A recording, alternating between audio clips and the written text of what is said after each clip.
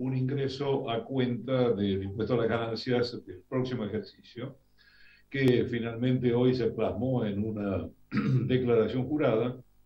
que establece, bueno, esto, un anticipo a cuenta de la próxima declaración jurada del impuesto a las ganancias para las sociedades de capital y este, define un universo que está compuesto por aquellas que hayan tenido en la última declaración jurada un resultado igual o mayor a 100 millones de pesos, o que el resultado, este, eh, este es el en términos de impuesto determinado, o que el resultado del último ejercicio, sin tomar quebrantos acumulados, haya superado, sea igual o, este, o mayor a 300 millones de pesos. Este grupo, este grupo de empresas, que se estima que es el 1%,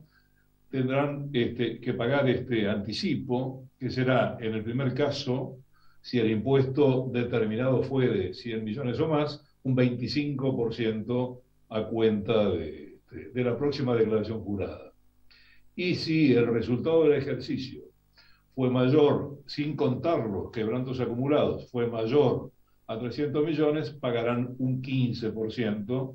de este anticipo, en este en carácter de anticipo extraordinario.